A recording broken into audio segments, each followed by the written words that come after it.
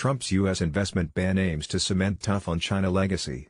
To view the full article, click the first link in the description below.